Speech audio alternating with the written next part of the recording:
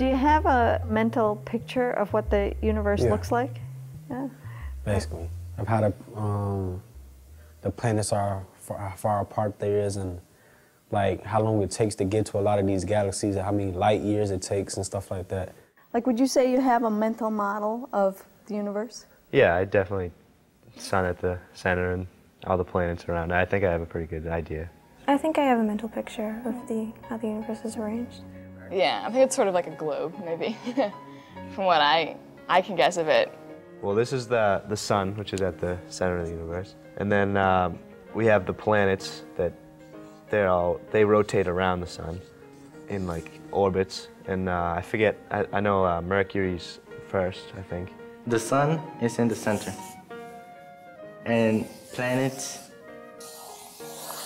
are orbiting around it. We have our solar system with the sun.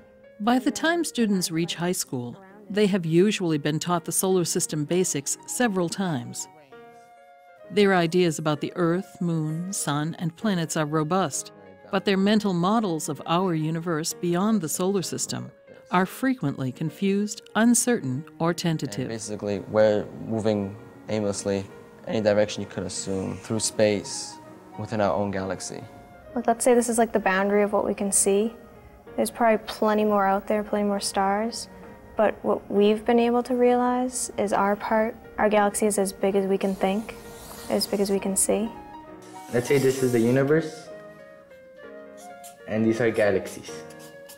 And inside the galaxies, there are planets, stars, nebulas, black holes, and other stuff.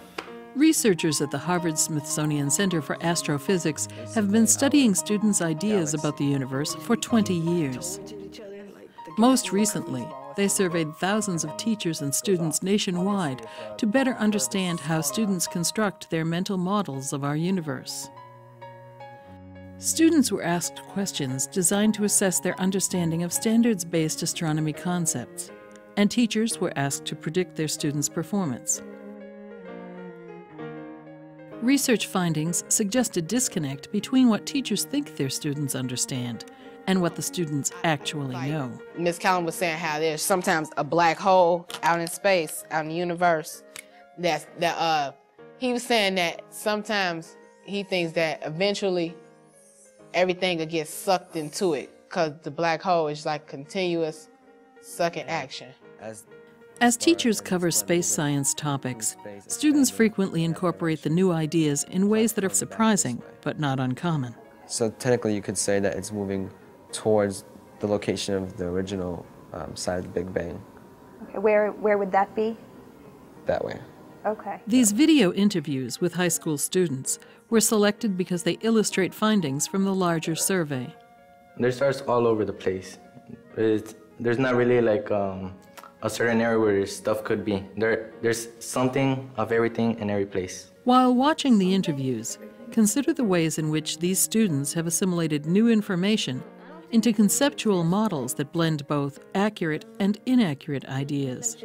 I believe that there's a universe and there's another universe, and then like they'll combine them sometime. And then afterwards, it's very big, but it's not so dense. How might these ideas become barriers to the students' future learning? I have no idea. 'Cause I don't Consider also your own ideas about the structure and workings of our universe. let's say we had like a, a- a spaceship going at, at the speed of light, going towards just in a perfectly straight line. Eventually, it would just circumnavigate the entire universe and end up at a starting point. Uh, so, what do I think is the end? Uh, what I think is the end is your is where you started.